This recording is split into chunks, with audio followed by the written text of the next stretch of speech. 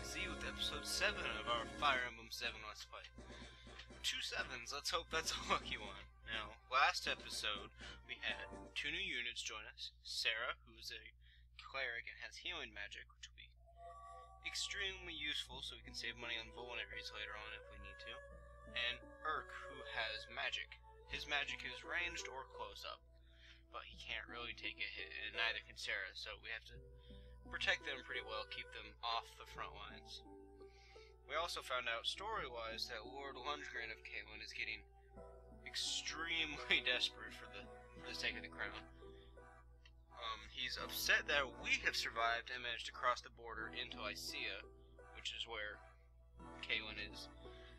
And he's upset that his brother, the actual Marquis, is still not dead from all the poison he's been given him even to say to one of his soldiers to hold his brother down and pour the poison down his throat if they needed. So it's getting pretty desperate, and I accidentally clicked off the emulator, that's why it stopped. But all that out of the way, let's get on to chapter 6 Blood of Pride. At long last, Lyn arrives in the land of her mother's birth. Lycia is a federation of territories, each ruled powerful marquis. Now Lyn takes her leave of those territories, Araphen, and sets out to meet her grandfather, the Marquis of Caelin. However, the Marquis's brother, Lundgren, hungers to rule Caelin. He is preparing a deadly welcome for Lyn, who threatens, who stands to threaten his grasp for power. Well, pleasant sounding gentleman. Kids we were able to tell by then. What city is this? This? This is Araphen. After Ostia, it's the second biggest city in Lycia. The second biggest? It does seem awfully busy. By the way, where's Kent? He said he was going to head to the castle, but... Ah, here he comes now. Milady Lyndis, let us proceed to the castle. They've prepared supplies for us. The Marquis has agreed to aid our journey to Caelin. He's going to help us? Yes. Araphen and Caelin have enjoyed a sturdy friendship for many years. Once I informed the Marquis of our plight, he agreed to lend us his strength. Looks like we've got a smooth road ahead. if we could pick up some soldiers, the road to Caelin would be that much safer. I'm truly sorry for the hardships you've suffered so far. Don't be silly. You're so capable, Kent. Kent? Oh, um, so are you, Sain. Of course I am. Castle awaits. It does look busy the NPCs about. This is terrible. The castle is burning. What? What did you say? What's happening? Smoke from the castle. Hey, what are those men doing? Oh yeah, welcome party. Who are you? You. You're Lyndis, aren't you? Ah. What do you... No questions. Prepare yourself. Hey. Another unit. Looks like he's on our side.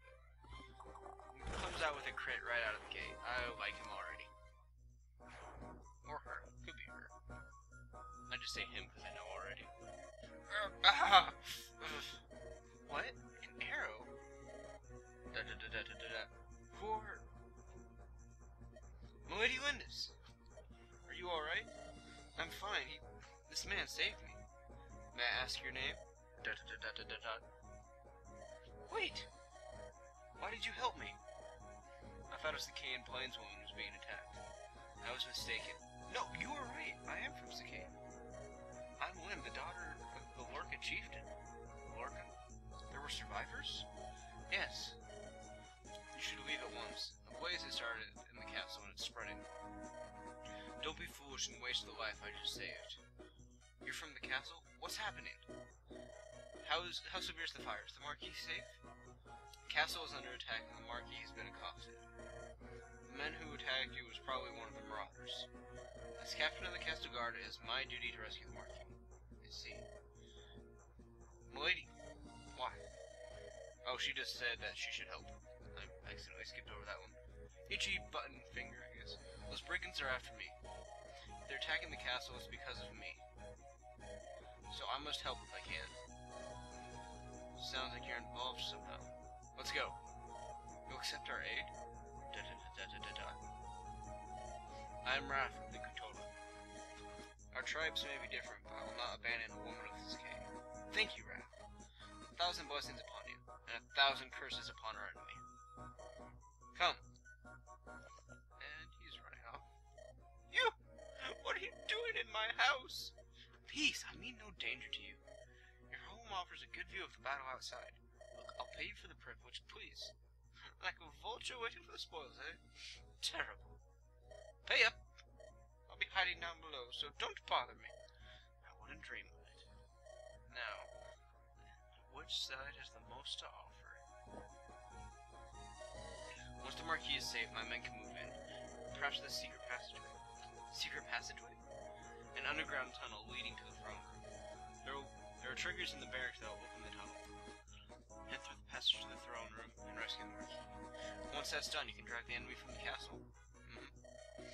If we can release those triggers, my men and I can handle the rest.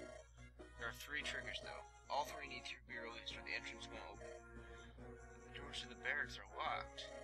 The enemy's within. If we don't get inside and finish them, we're stuck. So opening those doors is our first objective. Now just that scroll that popped up is basically telling us what their conversation just was. Open the gates. What shall we do, son? We don't have any keys with us. Perhaps some of the marauders are carrying keys.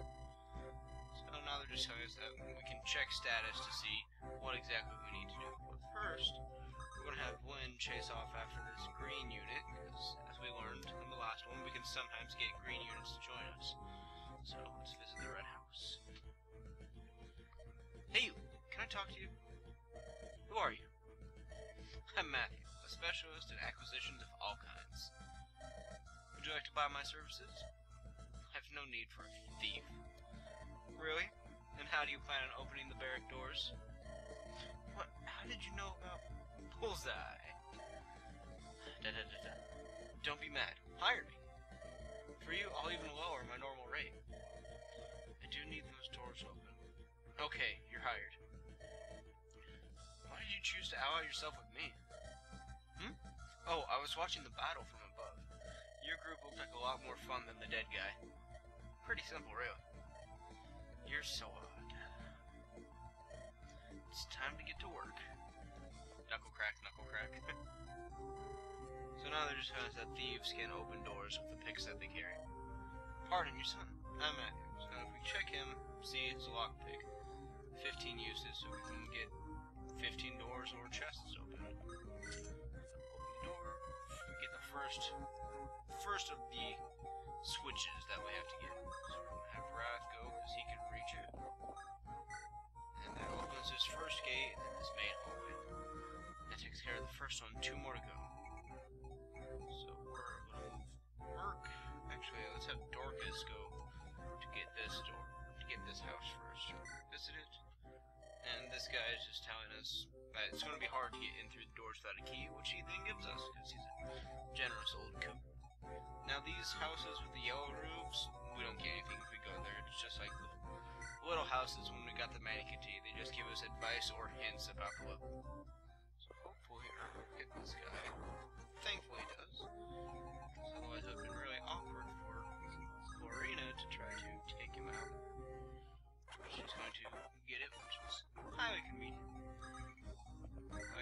I always like to try to have my long range units attack first, just for the sake of finishing them, finishing whatever enemy is there. Doesn't always happen the way I like, but I do my best. Plus, once we move in the melee units, it keeps our ranged units safe. We'll move Sarah there just so she's closer. Now he's just saying, since we're here, we might as well open the chest. And we can consider it an advance on our reward if we get them now. He assumes we're going to be rewarded. Got an angelic robe. Hey, this is an angelic robe. This is good for those on the less robust side. Like me, for example. Magic items like this increase one's abilities but can only be used once. Give them to the people who need them most, but don't fret too much about it or you'll never use them.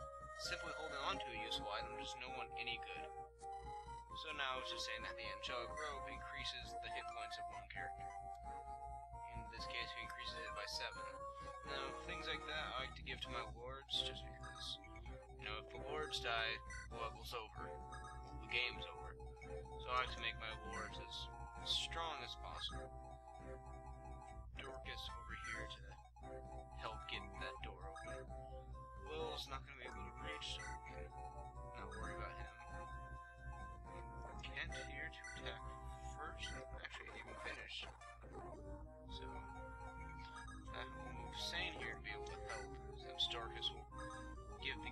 Sain. Or, not to Kent. Sain, Kento, they're all the same character. I don't think anyone's hurt enough to warrant healing, so I'll leave Sarah right there. Close to our guys, but not so close that she can be attacked. Dorcas, trade the door key. And Kent will open it. So you can see there's the, the other switch. Have Kent wait there to finish out. Let's save Rath. We don't get short bows much. Now, we can steal the door key from this guy if we want, but he'll just attack us, so we might as well attack first and get some damage in. Hopefully we'll get a crit and be able to finish him. If not, we'll just have Rath come here and finish it.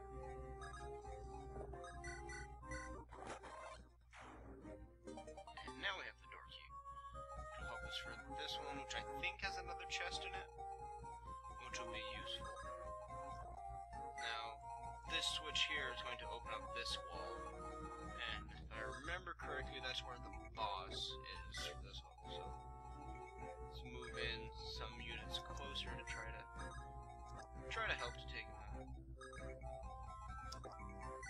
And now that most of the enemies are dead, we can risk moving Sarah closer.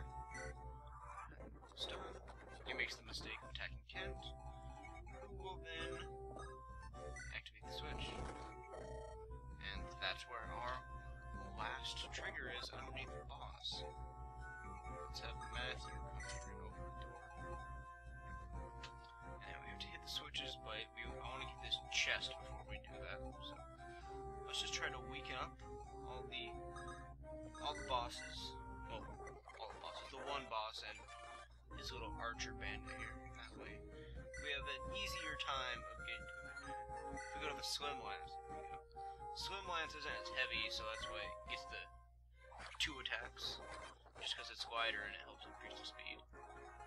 Now we can have Rath come here and weaken this gentleman. Bah! Linda Center Cadre. When did you arrive? No matter, I shall deal with you. From this distance, I think not. We didn't get any crits, but that's okay.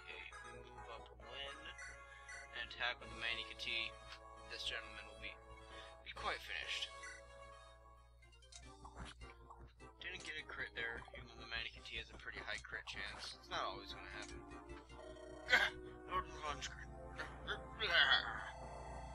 And Lyn leveled up and got halfway to her next level, which is convenient. We're really setting her out ahead of everyone, so it'll be nice. Pretty sure she is by far our highest level, 8 or 6. So not by far, but by a few levels. Oh, is level 7. I like it when our new team members are similar levels to us. Well, now, Matthew, get this last chest before finishing the level. An Armor Slayer. An Armor Slayer! That's just what I said. just as the name suggests, Armor Slayers are useful against knights in armor. You wanna know something? You need to give weapons to those who can wield them. You don't say, Matthew. Captain Obvious here. Otherwise, it's just a waste of a perfectly good weapon. Take this blade. I mean, I can use it, but I'm not too strong, and I just hate being counterattacked. Anyway, think strategically about who you give weapons to. I'm just saying certain weapons can be used. Now, as we can see, he can indeed use it because it's not grayed out. It only takes a sword level D to use it, which is his sword level. But if we go over to his stats, his strength is pretty pitiful, so doesn't do a whole won't do a whole lot for him. We give it to almost anyone else that can use swords, of course. Like Lyn or Kent would be our best bet for that. Since Lyn already has her Mani Katti, there's no need to give her another sword that's good against armored units. So this is the final one. We should be good to go. And there's the hidden passageway. Good work. We'll let Rath take over from here. Ah, Rath, you've done well. What a performance. Sir, if you have praise, it should be to this group. Hmm? Who are you? My name is Lyndis. I'm pleased to see you well. Oh, it's you. You're Marquis Cables. Leave us, Rath. I would speak to this girl. Now, Lady Lyndis, do you know the identity of those responsible for this uproar? I believe it is the work of my granduncle, Mundray. That's exactly right, which means my castle has been damaged in your family's petty inheritance dispute. My, my apologies. When I heard that Lady Madelyn's daughter was in trouble, I thought to lend my assistance. I find I've changed my mind. I withdraw my offer. Oh, wow. Marquis Araphen, you gave me your word, my lord. Your name is Kent, isn't it?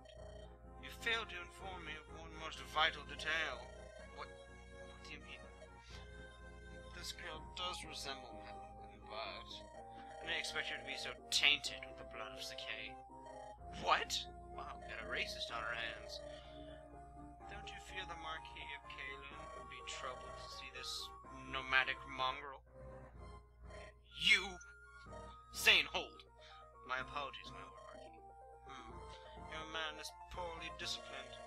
Marquis Ervin, please, if you would grace us with your aid. I hear Marquis Caelin is ill and abed. I question whether he will survive to meet this girl. In which case, his brother Lundgren will claim his title. And I clearly wish to avoid trouble with the common market. You scheming... Sain! I understand. Kent, Sain, we will take our leave of course. Milady Lyndis, we... I am proud of the Sacae blood that runs through my veins. I will not escape, except aid from one who disparages my heritage. Sure, I can say disparage alright, but once I get to the easy words, it's different. That was well done, Milady. The Marquis is a lout. Don't worry about anything. We're all here for you. Isn't that so, Kent?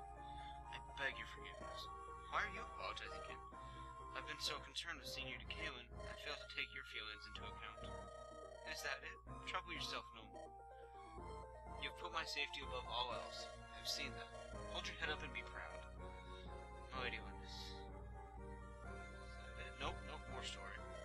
Bah, arrogant child. If she had shed but a single tear, I would have granted her request. When I nobles will never understand those prideful savages. Are those your true feelings toward the nomads of Sacae, my lord? What? Oh, Rath. I didn't see you there. My comments should not reflect on you. You are my captain. I am proud of your service.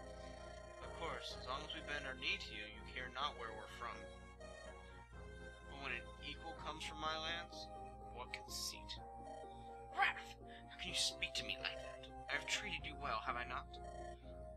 You well, I've treated you better than your kind deserves. You'll never understand. My service ends here. Go, Rath. No, no more working for erasers. We could use you much more. The Marquis of Airfair. You said my grandfather was ill. We must hurry to Caelin. As we approach Caelin, wondering the obstacles will be much more difficult to overcome. However, I have vowed to see you through to the end, milady. I'm counting on you, Kent. I'm with you too. Thank you, Sam. Son, thank you for standing at my side always. It's because of you that I I will persevere. Persevere. You'll never break my spirit. Ooh, go in. Da da da da da da da. Rath! What is it? What are you? I overheard the Marquis talking to himself. What if the Lorca, proud daughter of the Sacae? I would join you. I would add my strength? And this, I want you to take it. This is gold. It's too much. I can't accept it. I have no need for it, and if it will help you. But I cannot take back something once offered. Rath, I thank you. Cool. So, 5,000? Alright. So, shopping spree. And with that, Chapter 6, Episode 7 comes to a close. That was a rather intense one, if I say so myself. But we got a couple new units, which is it's always good to build our army. So, with that, I will see you all in the next one. Bye.